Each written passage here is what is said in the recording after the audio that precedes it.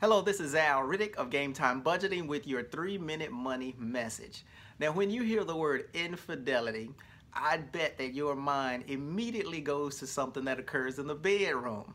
Well, today I want to present four quick tips on how to avoid financial infidelity in your relationship. Tip number one, make sure you are reviewing each other's credit reports at least one time throughout the calendar year.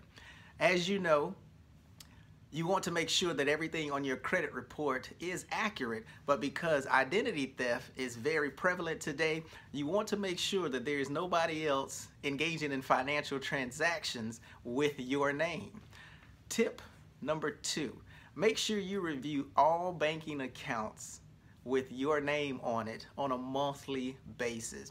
You definitely want to ensure that there aren't any large sums of money being withdrawn or possibly shifted to another account that you don't know about. Keep in mind that you work extremely hard for the money that is produced within your respective household, so the least you could do is actually count that money, or I guess I should say you should inspect what you expect. Tip number three Visit your financial advisor as a couple. Now I know because of the demands that are on your time today, you may feel as though, well, if your significant other is more inclined to take care of the finances, you just leave that up to that individual. However, because you are a part of that wealth building team, make sure that you do take part in the meetings that are scheduled with your financial advisor. Obviously, you do want to be kept in the loop regarding any strategies or techniques that are being implemented, which obviously impact your day-to-day life as well as your future wealth building potential.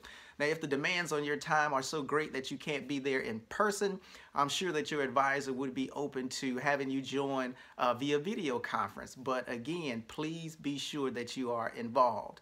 And tip number four, make sure that you review the tax returns on a yearly basis.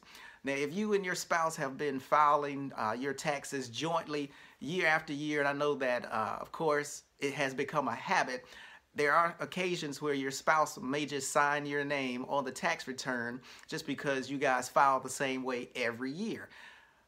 If you do that, at least make sure that you are reviewing the tax returns on a yearly basis so that you are aware as to what is going on, which could possibly impact how much money you are getting as a refund from the government or how much money you are paying the government. So thank you so much for tuning in to listen to these four quick tips about avoiding financial infidelity in your relationship. Again, this is Al Riddick. And as always, please remember to give your money purpose and an assignment so it will not misbehave. Take care.